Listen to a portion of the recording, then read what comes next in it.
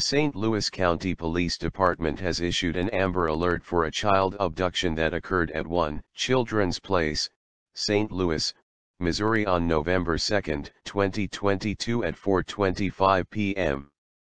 Abducted was Samiyah Branscomb, black, female, age 10 months. Suspect vehicle is a black Chevrolet Malibu.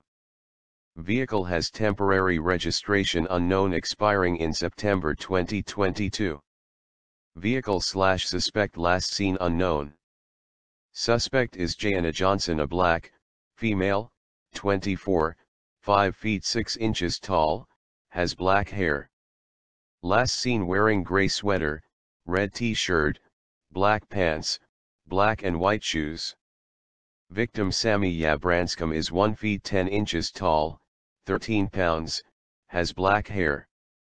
Last seen wrapped in a pink blanket. Victim has deformities on hands and wrist causing limp appearance. Child was brought to hospital and determined to be in critical slash unstable condition due to neglect. Protective custody order issued and Janaya fled from hospital with Samiyah against doctor's orders. Janaya refuses to bring child to hospital and hospital statement is child is in imminent threat of death if medical intervention is not received. Please call 911 if you have any information pertaining to this alert.